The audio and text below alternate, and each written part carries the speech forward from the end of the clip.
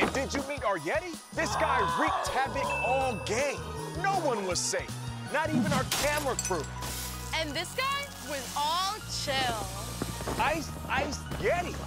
And look who else showed up. Our guys Big Nate and Lincoln Loud. Oh, Yeti.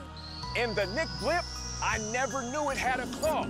That was amazing. Hey, Baker, I hope you enjoyed the ride. Oh, yeah. That was the only way the Broncos could stop the Rams.